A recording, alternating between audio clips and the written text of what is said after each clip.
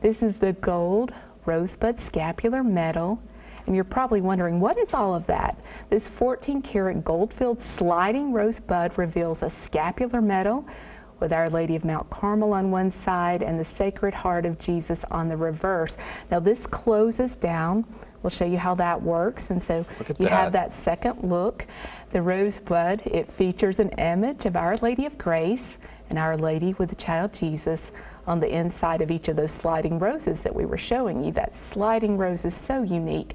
It comes on an 18 inch gold filled chain.